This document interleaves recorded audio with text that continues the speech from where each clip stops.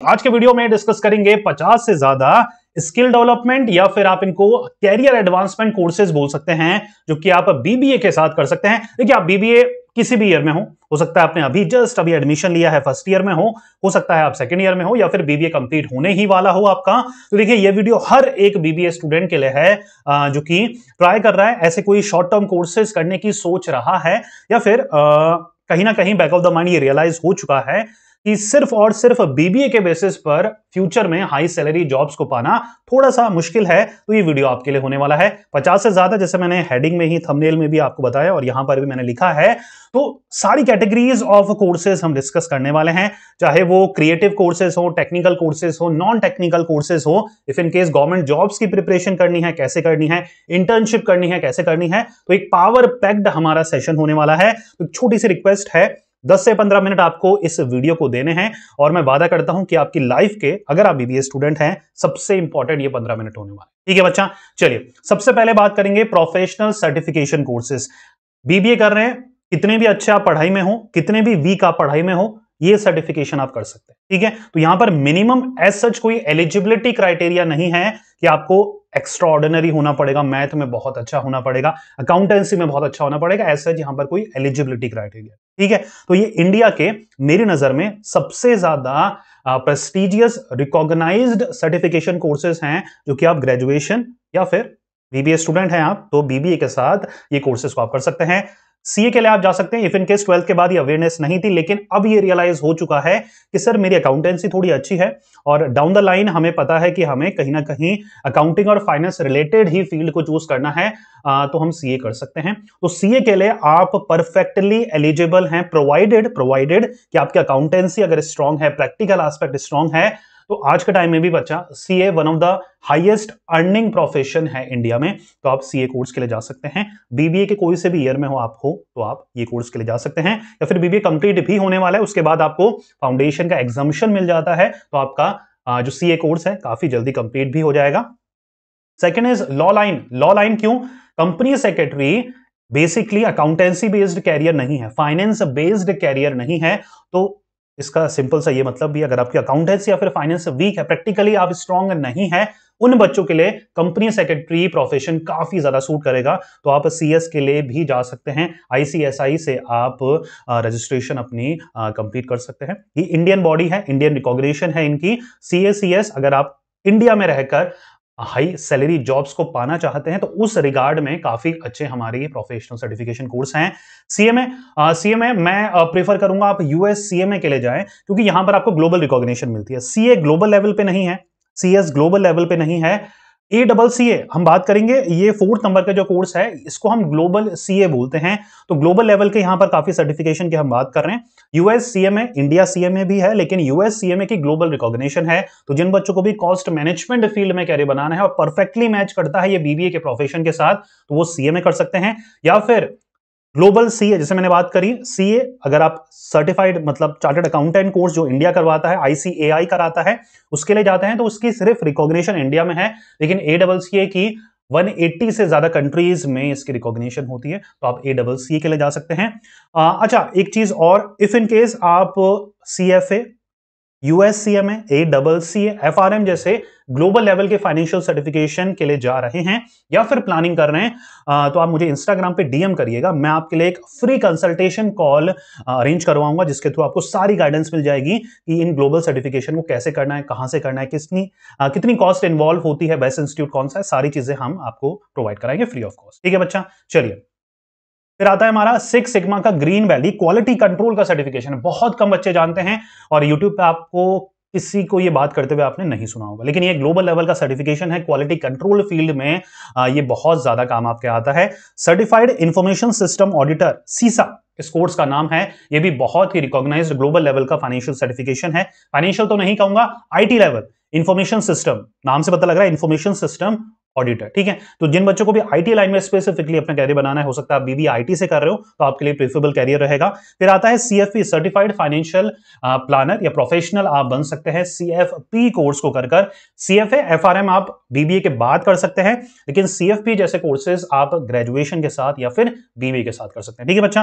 तो मेरी नज़र में ये थे टॉप प्रोफेशनल सर्टिफिकेशन जो आप बीबीए के साथ कर सकते हैं।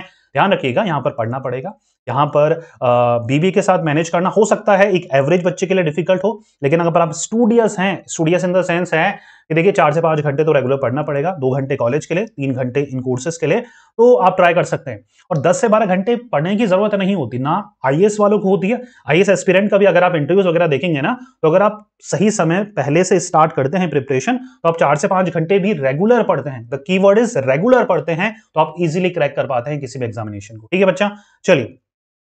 अब आते हैं मोस्ट इंपॉर्टेंट कैटेगरी जिसके लिए सब बच्चे प्रीफर करते हैं कि, सर स्किल डेवलपमेंट कोर्सेज बताइए कैरियर एडवांसमेंट कोर्सेज बताइए, जिनको करना इजी हो और इनकी ड्यूरेशन भी कम हो। ठीक है बच्चा? तो यहाँ पर तीन से बारह मंथ के मैंने बेस्ट आपके लिए स्किल डेवलपमेंट कोर्सेज की लिस्ट आपके सामने है। ठीक है? तो देखिए, दो कैटेगरी में मैंने डिवाइड कर दिया है।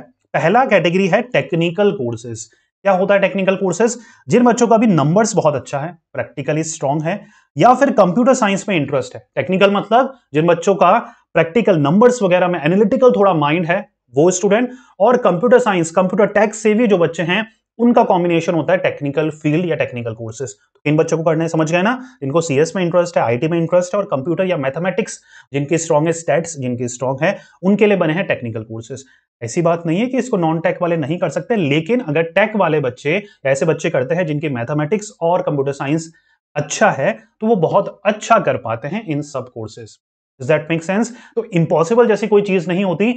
बस आपकी स्ट्रेंथ आपकी इंटरेस्ट अगर मैच कर जाती है किसी कोर्सेज में तो आप बहुत जल्दी उसमें अच्छा करते हैं। Is that make sense yes और नो चलिए। टेक्निकल कोर्सेज में बच्चा आप बिज़नेस एनालिटिक्स के कोर्सेज करें, ये सबके सामना तीन से लेकर बारह मंथ के नियर अबाउट के छोटा करना है सर्टिफिकेट कर लो, थोड़ा सा लंबा डिप्लोमा कर लो, या फिर आप डिग्री भी कर सकते हैं आगे जाकर ठीक है? पीजीडीएम कर सकते हैं, या फिर एमबीए में बिज़नेस एनालिटिक्स भी चूज़ कर सकते हैं। ऑप्शन से ऑप्शन से यस और नो डाटा साइंस के शॉर्ट टर्म कोर्सेज आप कर सकते हैं, ठीक है? फाइनेंशियल मॉडलिंग बहुत ही ज़्यादा इंपॉर्टेंट ये आज के टाइम में एक सर्टिफिकेशन कोर्स बन गया है, जिसके बहुत ही ज़्यादा डिमांड है जॉब मार्केट में भी। तो अगर आपको फाइनेंस फ़ील्ड में अपना कैरियर बनाना है फाइनेंशियल अकाउंटिंग फ़ील्ड में अपना कैरियर बनाना है फाइनेंशियल मॉडलिंग के कोर्सेज बहुत ज़्यादा इंपॉर्टेंट है। आर्टिफिशियल इंटेलिजेंस और मशीन लर्निंग के कोर्सेज बीबी के स्टूडेंट बिल्कुल कर सकते हैं, ये साइंस वालों के लिए नहीं है। यहाँ पर फंडामेंटल्स आपको सिखाए जाते हैं कि आने वाले टाइम में टेक्नोलॉजी क्या से क्या कर सकती है और आप उस टेक्नोलॉजी का कैसे बेटर यूज़ कर सकते हैं। ठीक है बच्चा? स्टॉक मार्केट ट्रेडिंग में जिन बच्चों को इंटरेस्ट है, वो स्टॉक मार्केट के कोर्सेज कर सकते हैं। बिज़नेस अकाउंटिंग और taxation B A T BAT courses इनको बोला जाता है, उनके आप शॉर्ट टर्म कोर्सेज कर सकते हैं। प्रोग्रामिंग लैंग्वेजेस के आप शॉर्ट टर्म कोर्सेज करिए। वेब डिज़ाइनिंग में अगर आपको इंटरेस्ट है तो वेब डिज़ाइनिंग वेब डेवलपमेंट है। एचआर ह्यूमन रिसोर्स के सर्टिफिकेशन होते हैं शॉर्ट टर्म तीन से छह मंथ के, वो आप कर सकते हैं। ऐप या गेम डेवलपमेंट बिज़नेस लॉ में अगर आपको इंटरेस्ट है तो इसके भी प्रोफेशनल सर्टिफिकेशन कोर्सेज होते हैं सीआरएम कस्टमर रिलेशनशिप मैनेजमेंट के शॉर्ट टर्म कोर्सेज होते हैं कंप्यूटर हार्डवेयर या नेटवर्किंग में इंटरेस्ट है तो इसके शॉर्ट टर्म कोर्सेज करिए। डिजिटल मार्केटिंग है एथिकल हैकिंग अगर आप टेक्निकल बंदे हैं तो ये दो कोर्सेज मैं आपको सजेस्ट करूँगा एथिकल हैकिंग के या फिर साइबर सिक्योरिटी के। अच्छा फाइनेंशियल मार्केट के कोर्सेज स्टॉक मार्केट में अगर आप कैरियर बनाना है ना, दो बहुत इंपॉर्टेंट कोर्सेज हैं एनआईएसएम और एनसीएफएम ये एक स्टैंडर्ड बॉडी कराती है इंडिया की दोनों कोर्सेज जो कि छह मंथ के नियर अबाउट में आप कंप्लीट कर सकते हैं। डिफरेंट मॉड्यूल्स होते हैं इसमें। आप कोई भी इंपॉर्टेंट मॉड्यूल्स चुनकर उनके एग्जामिनेशन दे सकते हैं। काफ़ी कॉस्ट फ्रेंडली ये कोर्सेज हैं क्योंकि आपको फाइनेंशियल मार्केट की काफ़ी अच्छी नॉलेज प्रोवाइड कराते हैं। एमएस ऑफ़िस की स्किल होना आज के टाइम में बहुत ज़्यादा ज़रूरी हो गया किसी भी ऑर्गेनाइजेशन में जाइए तो आपको वर्ड एक्सेल पावर पॉइंट वगैरह की स्किल समझ में आनी ही चाहिए। ठीक है बच्चा? सैप के कोर्सेज बहुत ज़्यादा फ़ेमस है सैप फीको के कोर्सेज बहुत ज़्यादा फ़ेमस है। सैप हमारा डाटाबेस मैनेजमेंट सॉफ्टवेयर है, ठीक है? तो अगर आप किसी भी फॉर्म में जाते हैं, बड़ी लेवल की फॉर्म में जाते हैं तो वहाँ पर जितने भी एम आई एस वर्क होते हैं डाटा एंट्री वर्क होते हैं, वो सैप सॉफ्टवेयर के ऊपर ही होते हैं। तो इसकी भी सर्टिफिकेट कोर्सेज होते हैं शॉर्ट टर्म कोर्सेज होते हैं, वो आप कर सकते हैं। कंप्यूटर लेवल की नॉलेज या कंप्यूटर की नॉलेज गेन करने के लिए ओ लेवल के कोर्सेज होते हैं। O level A level B level C level और सी लेवल हमारा एक्सपर्टीज वाला लेवल होता है, या एमटेक के बराबर होता है या एमसीए के बराबर होता है तो आप इस लेवल तक भी कंप्यूटर रिलेटेड कोर्सेज कर सकते हैं। ठीक है बच्चा? तो बहुत सारे ऐसे शॉर्ट टर्म कोर्सेज हैं जो कि आप कर सकते हैं। मेक श्योर sure करिएगा, आप अच्छे इंस्टीट्यूट से करें।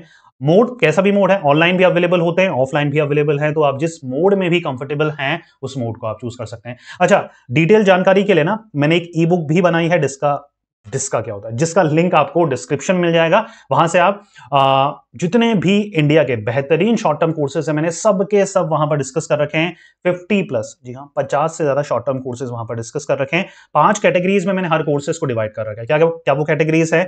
मैंने हर एक कोर्सेज मान के चलिए पहला कोर्स हमारा वहाँ पर डिजिटल मार्केटिंग है। तो डिजिटल मार्केटिंग क्या है? उसके क्या फ़ायदे हैं? कितनी कॉस्ट लगती है? कितनी कॉस्ट लगती है, क्या जॉब्स अवेलेबल हैं, उन जॉब्स में कितनी सैलरी मिलती है और मोस्ट इंपॉर्टेंटली इंडिया के वो कौन से बेस्ट इंस्टीट्यूट है जो कि वो कोर्सेज को प्रोवाइड कराते हैं, उन सबकी मैंने लिस्ट आपके लिए प्रोवाइड करा ठीक है? तो ऐसे ही हर कोर्सेज को मैंने 50 से ज़्यादा टू बी प्रिसाइज 55 वहाँ पर मैंने इंडिया के बेस्ट शॉर्ट टर्म कोर्सेज को लिस्ट कर रखा है और ये सारी डिटेल दे रखी है कि वो क्या कोर्सेज हैं, क्या बेनिफिट्स हैं, क्या सैलरी है, क्या जॉब्स अवेलेबल है, क्या एलिजिबिलिटी है, कौन बच्चे कर सकते हैं, कौन नहीं कर सकते, कौन से वो बेस्ट इंस्टीट्यूट हैं। तो मैंने सब कुछ, क्योंकि बहुत टाइम से मेरे बच्चों की रिक्वेस्ट आ रही थी कि सर ऐसा कुछ ई बुक लाइए, ऐसी कुछ सर्विस लाइए जिसके थ्रू हमें पता लग सके कौन से अच्छे शॉर्ट टर्म कोर्सेज हैं प्लस कौन से वो अच्छे इंस्टीट्यूट है जहाँ से हम कर सकते हैं। तो आपने बहुत टाइम से रिक्वेस्ट कर रहे थे तो मेरा प्रोडक्ट ये लॉन्च कर दिया है। मैंने पिछले वीक ही लॉन्च करा है। बहुत अच्छा रिस्पॉन्स है। अगर आप भी डाउनलोड करना चाहते हैं डिस्क्रिप्शन में आपको लिंक ठीक है बच्चा? चलिए। अब बढ़ते हैं नॉन टेक्निकल नॉन टेक्निकल क्या है? जो क्रिएटिव बच्चे हैं, जो अट्रैक्टिव पर्सनैलिटी अच्छा अट्रैक्टिव मतलब ये नहीं है कि आप दिखने में सुंदर हैं, तभी ये कोर्सेज कर सकते हैं। ना ना ना ना ना। अट्रैक्टिव मतलब होता है जिनको लोगों से इंटरेक्ट करना पसंद है कम्युनिकेशन जिनकी स्ट्रांग है इंटरपर्सनल स्किल जिनकी अच्छी है, वो कमरे में बंद करके आईटी वाला काम सिर्फ़ कंप्यूटर में लगे रहना नहीं चाहते, वो कहीं ना कहीं मैनेजमेंट का हिस्सा बनना चाहते हैं, वो कहीं ना कहीं ऐसा कुछ काम करना चाहते हैं जहाँ से वो ह्यूमन बींग को सर्व कर सके। इज़ दैट मेक सेंस तो ये होता है मेरी नज़र में नॉन टेक्निकल कोर्सेज इनको हर एक बच्चा कर सकता है, पढ़ाई में अच्छे हो तो भी कर सकते हो, नहीं हो तो भी कर सकते हो। वहीं पर टेक्निकल के लिए थोड़ा सा एनालिटिकल थोड़ा सा पढ़ाई में अच्छा दिमाग होना ज़रूरी है, लेकिन क्रिएटिव या नॉन टेक्निकल कोर्सेज हर एक बच्चा कर सकता है। ग्राफिक डिज़ाइनिंग है वीएफएक्स और एनिमेशन है। ब्लॉगिंग और कंटेंट क्रिएशन है, लाखों कमा रहे मेरे बच्चे। बहुत सारे मेरे ऐसे बच्चे हैं जो कि ब्लॉगिंग और कंटेंट क्रिएशन के बेसिस पे लाखों कमा रहे हैं। अगर आप राइटिंग में अच्छे हैं क्रिएटिव दिमाग है तो आप इनमें भी अपना करियर बना सकते हैं। डिजिटल आर्ट और illustration drawing art and craft अगर आपकी अच्छी है डिजिटल आर्टिस्ट आप बन सकते हैं। ई कॉमर्स मैनेजमेंट के शॉर्ट टर्म कोर्सेज होते हैं बिज़नेस कम्युनिकेशन के होते हैं। बिज़नेस कम्युनिकेशन बहुत रेलिवेंट स्किल है बच्चा आज में। अगर आप मैनेजमेंट स्टूडेंट हैं तो आपको इनके कोर्सेज ज़रूर करने चाहिए, ठीक है? होटल मैनेजमेंट में अगर आप इंटरेस्ट है तो अगर आप डिग्री नहीं करना चाहते तो शॉर्ट टर्म कोर्सेज भी कर सकते हैं। एडवर्टाइजिंग के क्रिएटिव एडवर्टाइजिंग के भी शॉर्ट टर्म कोर्सेज होते हैं हॉस्पिटलिटी मैनेजमेंट के होते हैं टूरिज़्म के होते हैं इवेंट मैनेजमेंट के शॉर्ट टर्म कोर्सेज होते हैं जो कि आप कर सकते हैं।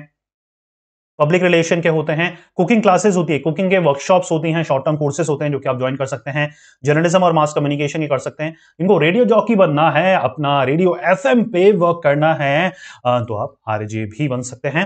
डिजिटल आर्ट और पेंटिंग की वर्कशॉप्स होती है, जैसे मैंने आपको बताया फॉरन लैंग्वेज के कोर्सेज हैं। ऑन्टरप्रीनरशिप ईडीपी के प्रोग्राम्स होते हैं ईडीपी के शॉर्ट टर्म कोर्सेज होते हैं ऑन्टरप्रीनरशिप डेवलपमेंट प्रोग्राम्स होते हैं, जो कि एक बीबीए के स्टूडेंट के लिए मस्ट मस्ट कोर्सेज हैं, अगर आपको फ्यूचर में स्टार्टअप वगैरह खोलना है। फोटोग्राफी के शॉर्ट टर्म कोर्सेज होते हैं। इवेंट फोटोग्राफी होती है, बहुत आर्टिस्टिक फोटोग्राफी होती है प्रोडक्ट फोटोग्राफी होती है, बहुत सारे इसमें भी लेवल्स होते हैं। म्यूज़िक प्रोडक्शन के शॉर्ट टर्म कोर्सेज होते हैं बच्चा फिटनेस और न्यूट्रिशन के भी शॉर्ट टर्म कोर्सेज होते हैं, जो कि नॉन टेक्निकल कैटेगरी में आते हैं, जो कि एक बीबीए का बच्चा कर सकता है। ठीक है बच्चा? तो देखिए ये बहाना नहीं चलेगा आज के टाइम में कि, सर, मैं क्या करूँ? मुझे समझ में नहीं आ रहा। कोई ना कोई शॉर्ट टर्म कोर्सेज तो करना ही करना पड़ेगा। ठीक है? शॉर्ट ड्यूरेशन के होते हैं कॉस्ट भी आपकी कम लगती है, कोई भी मोड आप चूज़ कर सकते हैं ऑनलाइन करना है ऑनलाइन करो ऑफलाइन करना है। ऑफलाइन करो। सीवी में बहुत अच्छा एक इंप्रेशन क्रिएट करते हैं, सिर्फ़ डिग्री के बेसिस पे आज के समय में अच्छी जॉब मिलना क्लोज टू इम्पॉसिबल हो गया बच्चा। तो कहीं ना कहीं आपको अपना एड ऑन करना पड़ेगा अपने रिज्यूमे में ये सारी चीज़ें। ठीक है, अब इंटर्नशिप की बात कर लेते हैं। चलो जॉब्स वगैरह की बात कर लेते हैं। देखिए जॉब्स या इंटर्नशिप दो तरीके से मिलती है। इंटर्नशिप क्या होता है? जब हम किसी को टेम्प्रेरी बेसिस पर जिसे किसी भी ऑर्गेनाइजेशन को टेम्प्रेरी बेसिस पर ज्वाइन करते हैं वहाँ पर स्किल सीखते हैं और वो स्किल के बेसिस पर हम रियल वर्ल्ड में जाकर या किसी और कंपनी को जाकर ज्वाइन करते हैं या फिर बहुत अच्छी वो कंपनी है जहाँ से आप ये इंटर्नशिप कर रहे हैं तो आपको वो कंपनी ही हायर कर लेती है अगर आपने वहाँ पर काम अच्छा ठीक है बच्चा? तो यहाँ पर आप ट्रेनिंग वगैरह ले सकते हैं राइट right? ट्रेनिंग uh, के लिए या इंटर्नशिप के लिए इंटर्नशिप कंपनी से प्रोवाइड कराती है वो किस बेसिस पे आपको हायर करती है? या तो आप बीबीए वगैरह में बहुत अच्छा आपका रिकॉर्ड हो सीजीपी वगैरह आपके नंबर्स वगैरह बहुत अच्छे हो तो उस बेसिस पर आप, ये पोर्टल्स हैं, कुछ पोर्टल्स का मैंने नाम लिख रखा है, ये प्लेटफॉर्म्स हैं, जिनमें आपको अपना एक प्रोफ़ाइल बनानी है बायोडाटा अपना अपलोड करना है, उसके बेसिस पर आपको इंटर्नशिप यहाँ पर ऑफ़र होती है। Internshala LinkedIn Monster Naukri Indeed let's intern intern world check subject expert youth for work freshers world ठीक है?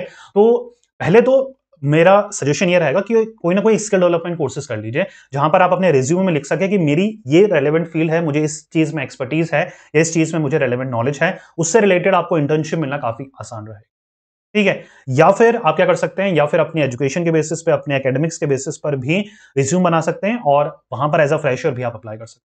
दोनों ही आपके पास चॉइस है, या तो और बताने की ज़रूरत नहीं है कि किसको ज़्यादा या जल्दी अपॉर्चुनिटी मिलेगी, उसको मिलेगी, जिसके पास किसी रेलेवेंट स्किल सेट होगा, कोई ना कोई शॉर्ट टर्म कोर्सेज का उसके पास एक्सपीरियंस होगा नॉलेज होगा, और कोई ऑर्गेनाइजेशन आपको क्यों हायर करेगी? सिंपल सा, थोड़ा सा दिमाग लगाओ ना।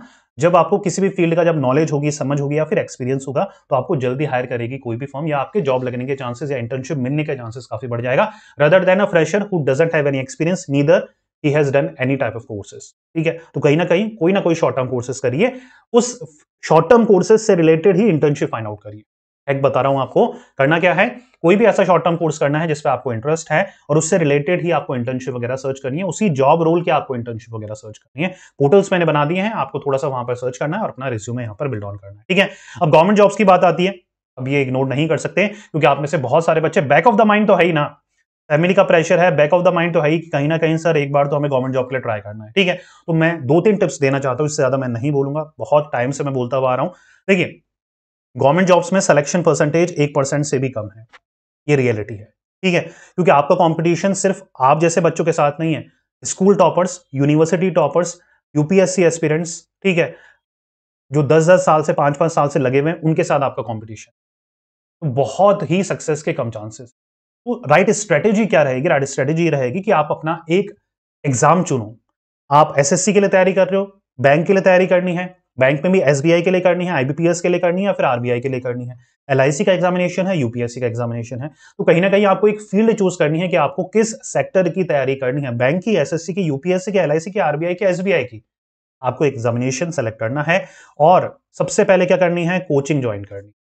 फिर सेल्फ स्टडी का नंबर आता है। बच्चे जस्ट अपोजिट करते हैं, पहले सेल्फ स्टडी करते हैं एक से दो साल, जब उनको लगता है कि उनके कुछ भी समझ में नहीं आ रहा, एक भी पेपर क्लियर नहीं हो रहा, उसके बाद कोचिंग करते हैं।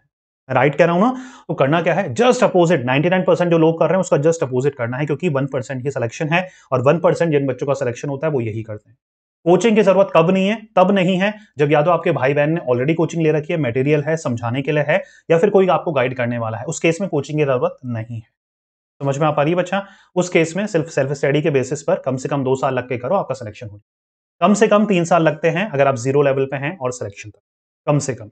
ठीक है बच्चा? तो ये दो से तीन चीज़ों का आपको ध्यान रखना है। एक सेक्टर चुनना है कोचिंग लेनी है, छह से सात मंथ लगेंगे कोचिंग में, उसके बाद जितना भी टाइम बचेगा, एक से डेढ़ साल, उसमें आपको सेल्फ स्टडी करनी है और मिनिमम तीन साल लगते हैं अगर आप ज़ीरो लेवल पे हैं सिलेक्शन तक। ठीक है बच्चा, समझ में आ पा रहा है? तो उम्मीद कर रहा हूँ, जितने भी ऑप्शन हमने डिस्कस करे थे, सबके बारे में आपको क्लियरिटी मिल गई होगी। इतने कम समय में, इतनी जल्दी मैं ही मेरे ख्याल से आपको क्लियरिटी दे सकता हूँ, ठीक है? तो different different technical non technical internship government job सबके बारे में हमने डिस्कस कर लिया है। और इफ़ इनके शॉर्ट टर्म कोर्सेज आप करने जा रहे हैं तो मस्ट हैव गाइड मैंने आपके लिए ई बुक प्रिपेयर करी है। डिस्क्रिप्शन में लिंक है, जैसे मैंने बताया आपको, वहाँ से आप उस ई बुक को बाय कर सकते ठीक है? कोई भी क्वेश्चन होता है आपका, आप मुझे इंस्टाग्राम पे डीएम कर सकते हैं या फिर इसी वीडियो के नीचे कमेंट बॉक्स पे। ठीक है बच्चा? मिलते हैं नेक्स्ट वीडियो में। Till then take care goodbye पढ़ते रहिए, मेहनत करते रहिए, क्योंकि आपका भी दिन आएगा। Thank you so much